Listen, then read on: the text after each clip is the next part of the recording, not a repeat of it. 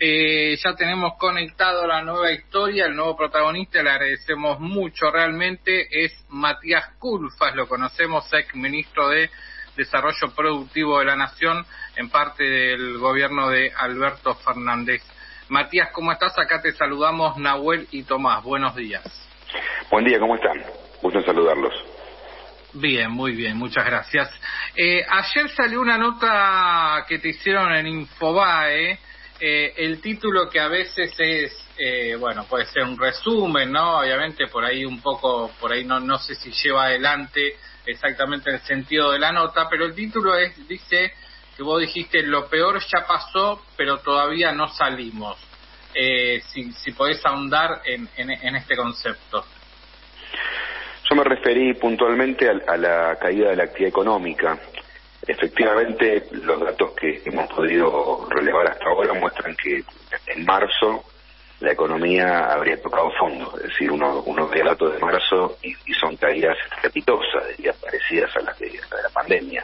La industria cayendo 20% respecto a marzo del año pasado, la construcción este, cerca del 30%, bueno, caídas este, derrumbe económica. Lo que se vio en abril y los primeros datos de mayo es también se ven caídas muy fuertes interanuales, pero un leve, muy leve repunte respecto a marzo. Es decir, este, eh, lo que quiero decir es, el, el peor momento de caída pasó, pero estamos lejísimos de lo que el gobierno quiere instalar como una, ustedes habrán escuchado la metáfora, de la recuperación en B corta, es decir, que la economía tocaría fondo y después este, saldría disparada hacia una fuerte recuperación.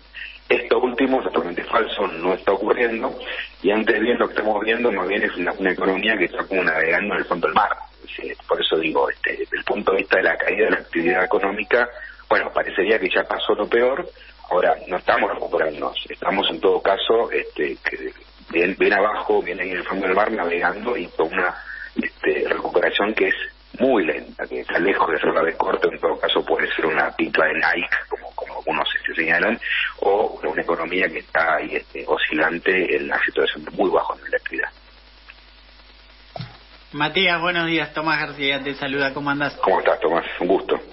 Un gusto, como siempre, hablar con vos. Eh, me quería centrar en esto, en, este momento económico primero, eh, porque esta semana eh, hubo como datos por lo menos en la bolsa, con los bonos, que mucho se habla de eso, de si, si el, mercado ya no confía en el gobierno o no. Vos has pasado, digamos, gobiernos y, has visto cómo se mueve el mercado y cómo reacciona ante una cosa u otra. Eh, ¿Vos qué, qué sensación te da eh, esto que pasó esta semana?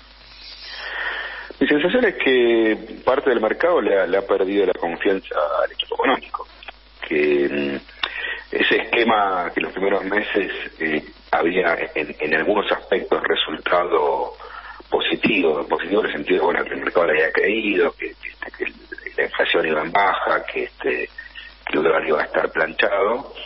Eh, bueno, tuvo unos resultados este, adversos. Por un lado, eh, el campo no liquidó, contrariando muchas expectativas. Finalmente, la eliminación del campo fue bastante pobre y está siendo muy muy limitada, el gobierno no logró juntar reservas en el Banco Central y, las bajas tasas de interés, es decir, la, la licuación que se está produciendo en, buena parte de los ahorros en pesos hicieron que algunos sectores dijeran, bueno, hasta acá llegamos, ¿no? Porque en definitiva lo que hacen muchos sectores es mirar su rentabilidad en dólares. Entonces dicen, bueno, aunque la tasa de interés sea baja, si el dólar está quieto, dice, bueno, con los, con los pesos que gane tasa de interés, aunque esté por debajo de la inflación, puedo comprar eh, más dólares porque el dólar está planchado. Esa es la etapa que terminó y me parece que es un golpe duro para el gobierno, sobre todo teniendo en cuenta eh, que desde mi punto de vista se, exageraron, se sobregiraron cuando, ustedes se acuerdan, ¿no? cuando en abril empezaron a decir que estaba colapsando la inflación, ¿se acuerdan el famoso episodio del Jumbo Bot, donde tanto eh, el ministro Caputo como el propio presidente dijeron, ya está, la economía se está, la empresa está derrumbando, el diciendo al elefantino que ya tienen el asunto controlado, que en septiembre estaba resuelto el problema. La verdad que, bueno, creo que fueron este, expresiones de deseo que fueron muy negativas a la distancia, porque lo que hay que dejar en claro es que estos fenómenos de, inflación alta no son fáciles de, de dominar. Y eso lo digo para, para cualquier gobierno, ¿no? Este, son temas que llevan tiempo y me parece que este este juego de sobregiarse, de cacherear, de que resuelta, bueno, seguimos jugando en contra y hoy creo que, lo que se denominan los mercados financieros en buena parte le han perdido la confianza. Y el tema inflación, ¿cómo lo ves? Porque también se vienen como aumentos en, en servicios de energía y demás, que suelen tener impacto en, en en las tarifas, en, en los precios, ¿no? En la inflación y siempre vienen también aumentos como por ejemplo en la nafta. Eh, ¿Vos pensás que por ahí ya tienen precios muy por encima y que no los va a tocar tantos o que puede volver a crecer un poquito la inflación? Mira, yo creo que el, el gran desafío que tiene el gobierno ahora, que le va a costar mucho, es perforar este este piso al que va a llegar ahora, que va a estar en, torno al 4 o 5% por mes. Es decir, vamos a ver ahora, por ejemplo, en la ciudad, que está, tuvo un 4% al y pico, vamos a ver en los próximos días la inflación nacional, mes de mayo, y, es posible que esté en torno a, a 5%, lo cual obviamente lo va a ver como una buena noticia, porque con 25 en diciembre.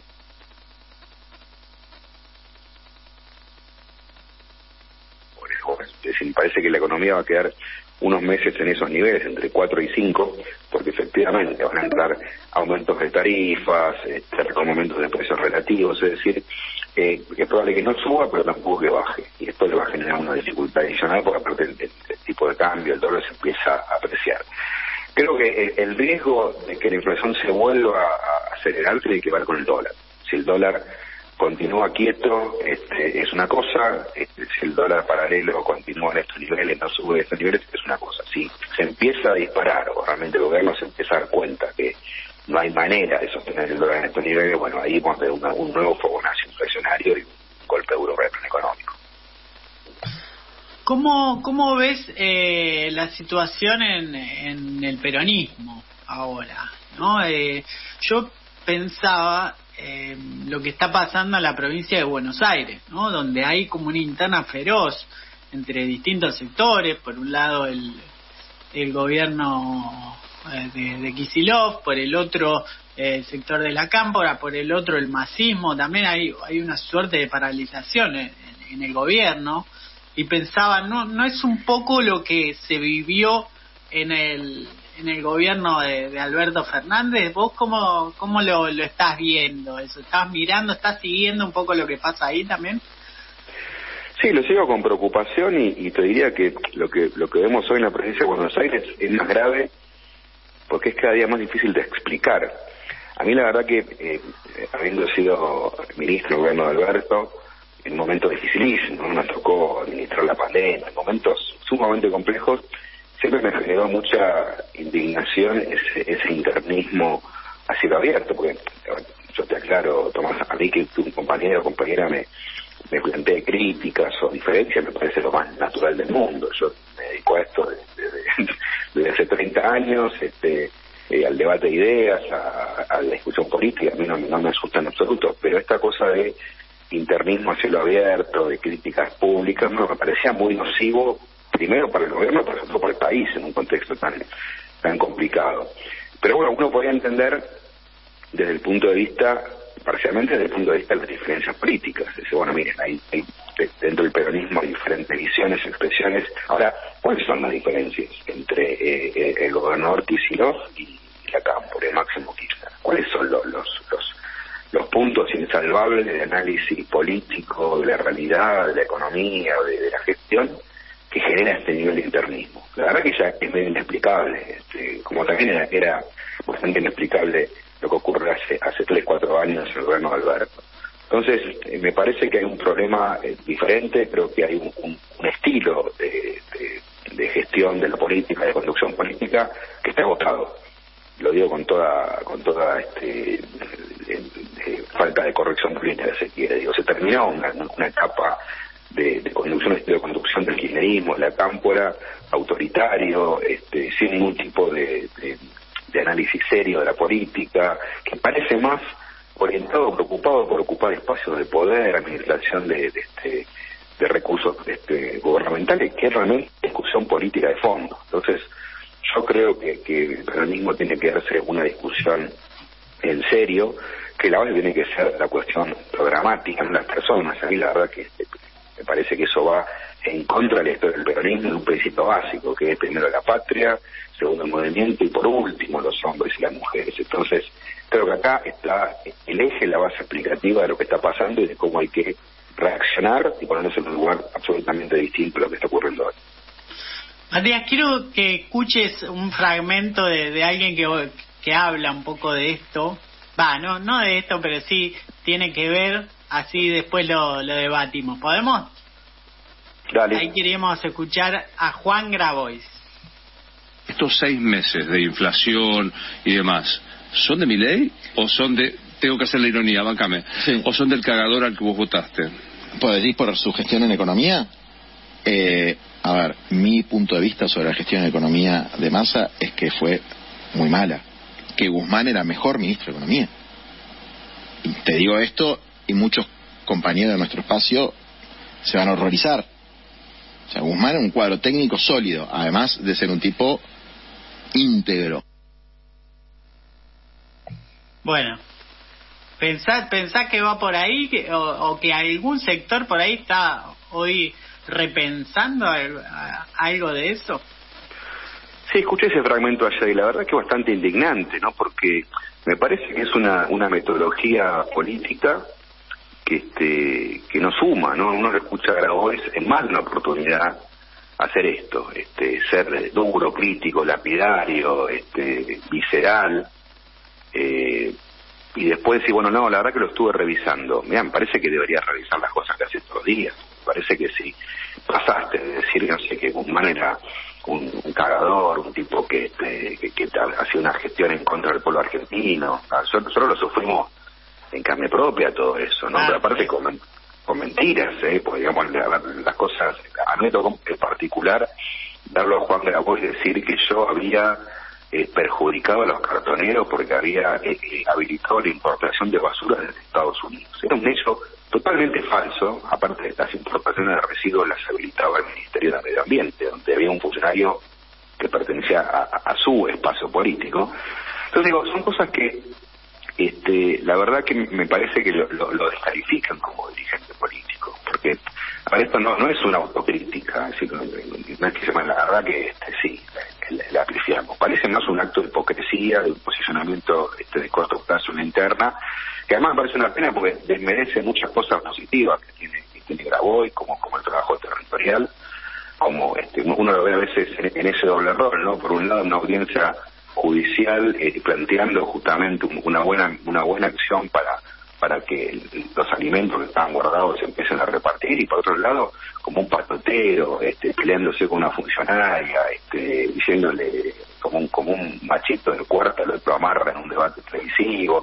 Digo la verdad que me parece que es una una dirigencia que lamentablemente este, no funciona, no, no, no, no, tiene capacidades para, entender correctamente la realidad, que parece eh, más atravesada por una situación este, casi psiquiátrica, y lo que el país necesita es, tranquilidad, es una dirigencia, parece que, que reflexione, que, que, que haga un análisis profundo, porque estamos en una crisis muy delicada en Argentina, ¿no? Este, económica, pero también eh, política, social y de valores, y eso requiere otro tipo de dirigencia.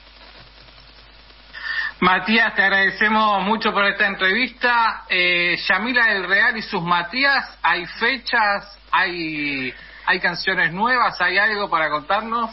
Sí, sí, sí, se viene un Ah, nuevo un nuevo espectáculo el 30 de junio, la verdad, por este Urquiza y también pronto en Spotify vamos a ver algunas canciones nuevas, así que gracias por por pasar el chivo.